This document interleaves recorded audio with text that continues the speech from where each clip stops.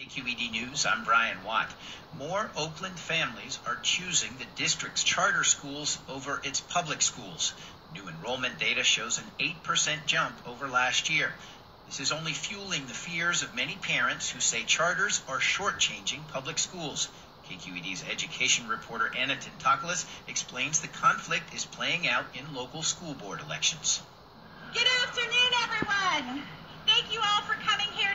Parents who say they're deeply worried about Oakland Unified's future gathered outside the district's downtown offices yesterday to lash out at what they called the privatization of their local school system.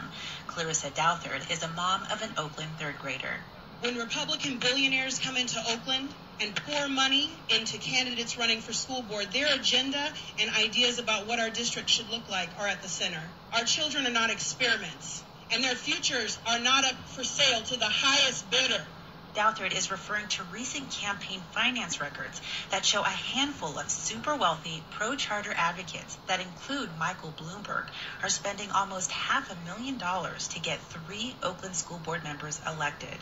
Outraged parents like Kim Davis say they're just trying to do grassroots work to combat this. You know, we have no money to spend, but we do have our voices. So, you know, person to person, family to family, school to school, hopefully we can make the difference. Charter school advocates say they will continue to amass all the resources necessary to provide Oakland families more school choices.